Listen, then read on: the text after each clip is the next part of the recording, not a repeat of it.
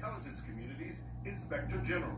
The Inspector General investigated, determined the accusation to be credible and of urgent concern, and wanted to share it with Congress, as is required by law. But he was blocked by the Acting Director of National Intelligence, Joseph Maguire, the Justice Department, who disagreed.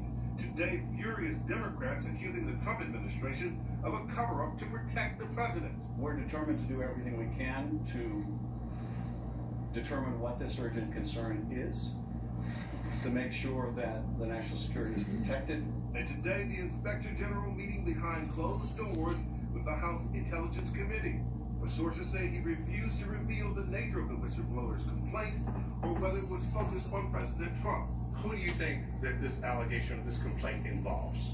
Who is in a position to influence an acting director of national intelligence uh, who's not been on the job very long um, to do something completely unprecedented? ABC News has not independently confirmed the Post report, which does not name the foreign leader or the nature of President Trump's alleged promise.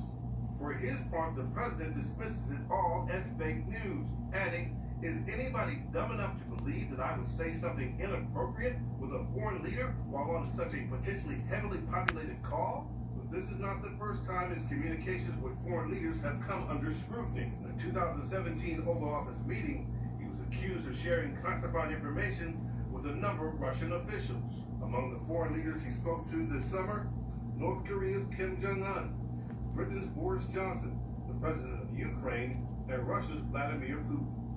So many questions still tonight. Pierre Thomas live on the Hill and Pierre, the chairman of the House Intelligence Committee, vowing to take this to court.